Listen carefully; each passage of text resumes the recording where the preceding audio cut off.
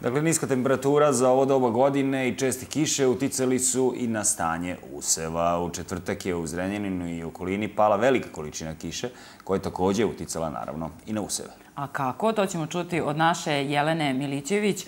Jelena, evo da čujemo šta kažu uh, stručnjaci pre svega, uh, kako, kako su ove padavine kojih je zaista bilo možda čak i previše u tokom protekle nedelje uticalo na posejene useve.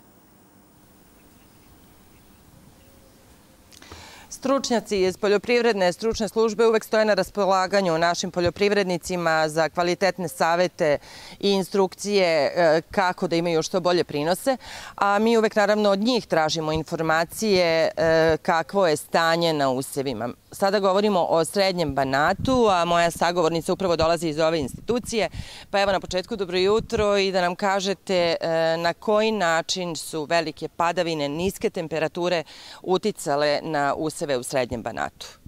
Nestabilno vreme u proteklom periodu obeležilo je proizvodnju u Srednjem Banatu i možemo reći da su tokom aprila i maja meseca e, temperature bile nešto ispod proseka, a padavine iznad proseka. E, to je nekim kulturama veoma značilo, u stvari mahom svim okopavinama i strnim žitima koja su na parcelama, ali su pravile probleme u smislu intervencije i zaštite samih useva. E, tokom ove proizvodne godine scenario sa strnim žitima je tako malo nezgodan zato što stalno podležu nekim problemima. Uh, u poslednjem nekom periodu smo zabeležili intenzivniju pojavu lisne rađe i žute rađe uh, kao i žutomrke pegavosti. Znači to je kod onih proizvođača koji tretmane nisu primenjivali uh, na vreme, malo su kalkulisali, znači imamo scenariju da su tretmani rađeni prerano, pa su usevi bili bez zaštite u trenutku kad su uslovi za pojavu bolesti bili nešto jači. Drugi scenariju je što su proizvođači radili malo kasno kasnije e, e, i e, tu kalkulisali se izborom preparata. Znači kvalitetnu zaštitu daje tačno vreme primene, znači kvalitetno vreme primene i kvalitetan izbor preparata. Kada govorimo o žitima, u kakvom su sada stanju, s obzirom da su se bile pojavile bolesti o kojima govorite, da li je ostavilo to posledice, da li možete već da izvršite neke procene, da li će biti posledica po prinosi? U svakom slučaju, znači, strna žita se nalaze u fazi prvenstveno pšenice, se znači nalaze u fazi zavisno sortimenta i ostalih agrotehničkih mera, pre svega vremena setve, znači nalaze se u fazi od e, predsvetavanja, znači od klasanja do predsvetavanja. E, na, na parcelama gde nije adekvatno urađena zaštita, to će svakako ostaviti problem po prinos, znači uticaće na smanjenje prinosa, jer su nosioci prinosa sam klas i tri lista ispod klasa, znači oni formiraju kasnije zrno, znači e, utiču u periodu nalivanja jako mnogo. Tako da ako su ovi listovi bolesni i zaraženi, e, oštećeni, znači oni će sigurno smanjiti prinos na ovakvim parcelama. E, druge kulture, kukuruz, repa, kakva je tu situacija?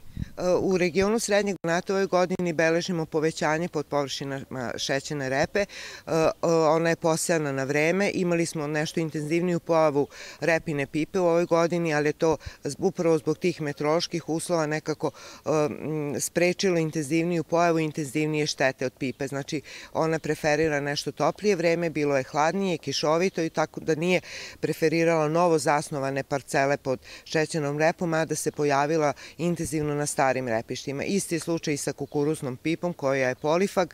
U jednom periodu e, je uticala na proizvodnju e, suncokreta, tu je pravila manje štete uz e, peščara i stepskog popca koji su pravili malo više šteta na suncokretu. Čak imamo i površine gde je došlo do presejavanja, prvenstveno rani setva suncokreta.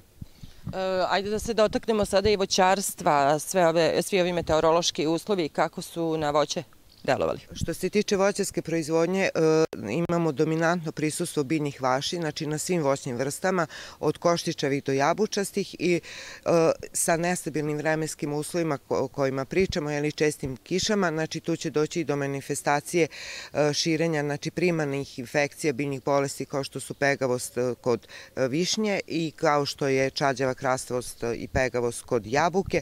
Znači, kod voćarstva je jako važan kontinuitet i ritam tretmana, znači u, u odnosu na vremenske uslove, znači na prvenstveno na padavine, jer svaka padavina utiče na širenje upravo te primarne infekcije koje je važno završiti kako kasnije ne bi dolazilo do sekundarnih infekcije, znači širenje infekcije u voćnjaku kad, kad već imamo simptome bolesti na listovima. Nekako se čini da sve više imamo poljoprivrednika koji se odlučuju i za povrtarstvo. Kako je stanje u povrtarstvu? Što se tiče povrtarske proizvodnje na terenu Srednje Banata, ona uzima sve više i više maha. E, tu smo da ispratimo sve te vrste proizvodnje, ali kako imamo različite e, useve, tako imamo i različite bolesti na njima i štetočine.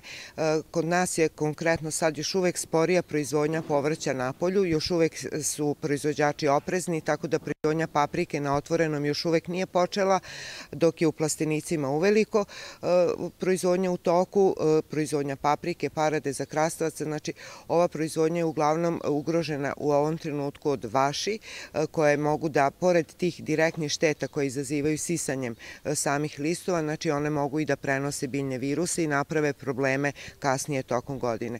Od e, proizvodnje napolju imamo proizvodnju luka i krompira koji su pod, upravo zbog ovih vremenskih uslova, variabilnog vremena, ugroženi od bolesti tipa plamenjače.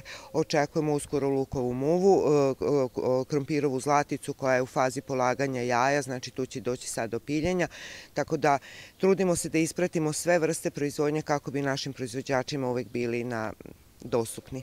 Imamo li neki savet za poljoprivrednika na kraju? E, samo da prate svoje useve, da, da zaštitu rade u kontinuitetu e, pravim preparatima, a, a jako je važna uh, detekcija problema. Znači, kad detektujete problem, e, kad definišete šta, šta je u pitanju, onda možete i lako izaći na kraj. Znači, tu je služba da pomogne u takvim problemima u smislu detekcije, u smislu preporuke. E, prognozno izveštene službe ima svoj sajt e, pisvojvodina.com na kome u kontinuitetu dajemo informacije o stanju useva i preporuke za tretmane.